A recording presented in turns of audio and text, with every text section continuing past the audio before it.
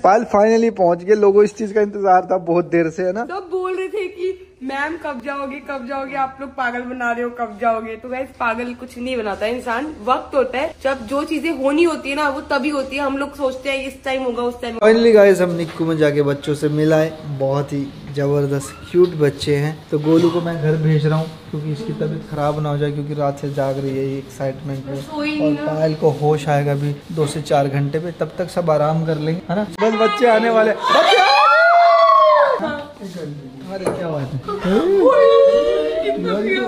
में बच्चे ठीक है सात बज के एक मिनट पे हुआ है। और दो किलो नौ सौ ग्राम का ठीक है। हैं।